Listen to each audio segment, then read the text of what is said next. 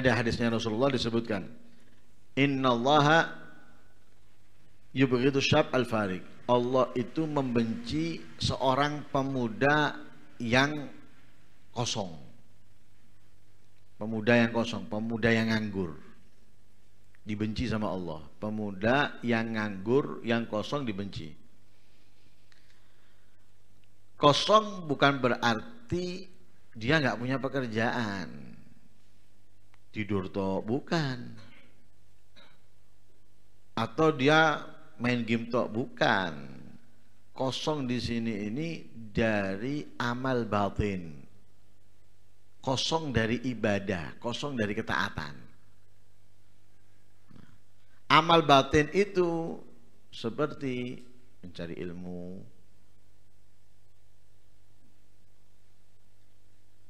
membaca Al-Quran, sholat sunnah, dan yang lain sebagainya. Kalau seorang pemuda nggak memiliki ini, maka ia adalah farid kosong. Itu dibenci sama Allah. Nah, dikatakan di sini li anna syab idza ta'attala an amalin yushghilu batinahu bima bahan yasta'inu bi ala dini kana zahiruhu fadiqan.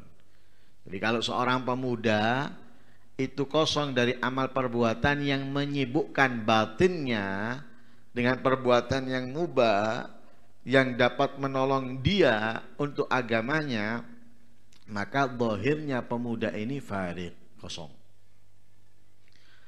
lah kalau dohirnya kosong berarti walamnya begagal bufarikon. Ya, berarti hatinya itu kosong. Kalau kosong, nah di situlah menjadi kandangnya setan. Menjadi kandangnya setan, ya setan di situ akan bertelur eh, dan akan mengembaba menetaskan telurnya. Eh, akhirnya tumbuhlah setan-setan. Nah,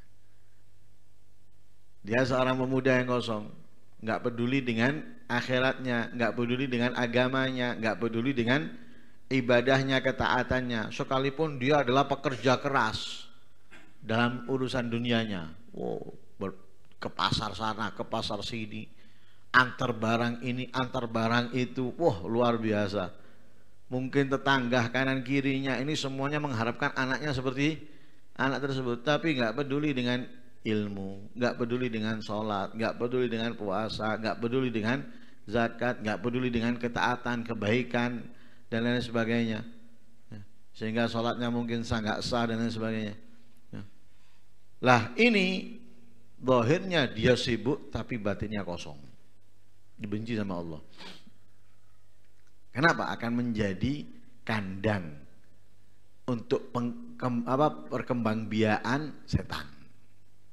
Nah, dari situ turun menurun. Nah, turun menurun bertelur. Nah, bertelurnya setan lebih cepat dari hewan-hewan yang lain. Dari hewan-hewan yang lain. Mungkin kalau ayam petelur bisa bertelur setiap hari sekian. Ini lebih cepat.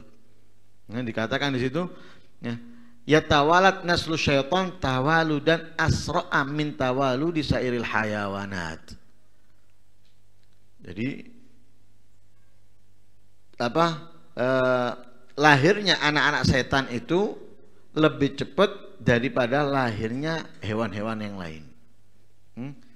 Kenapa? Karena setan itu terbuat dari api. Kita lihat api Pernah ngeliat api itu diem? Hah? Anteng. Gak pernah api itu anteng diem gak pernah. Terus api itu apa? Bergerak. Api bergerak. Gak pernah berhenti api, bergerak. Karena itu memadamkan api gak mudah. Sulit. Di sini disiram sana, sudah ke sana, sudah ke sana, bingung. Nah, terkadang orang memadamkan api itu memadamkan yang belum kena. Yang disiram itu yang belum kena. Supaya apa? Pergerakannya itu lebih sempit. Mau ke sana nggak bisa, mau ke sini nggak bisa, sudah dikepung dengan sesuatu yang basah. Nah, baru dipadamkan yang terbakar. Nah. Tapi kalau kering, Di sini semprot yang apinya nyala. Ini sudah seru, seru, seru cepat. Lah begitu juga seorang pemuda yang hatinya kosong dari akhiratnya. Tidak memikirkan ibadahnya, ketaatannya, tidak mencari ilmu, tidak sibuk dengan zikir, tidak sibuk dengan Al-Qur'an. Lah ini dibenci sama Allah Subhanahu wa taala. Karena itu eh, kalau kita renungi musuh terberat kita adalah apa? Nafsu, syahwat. Ya. Karena itu Imam Al-Husain bin Mansur Al-Halaj ketika ditanya tentang tasawuf, ya, tasawuf itu adalah nafsumu, dirimu sendiri. Kalau nggak kamu sibukkan diri kamu, maka kamu akan disibukkan dengan nafsumu, dengan syahwatmu. Nah,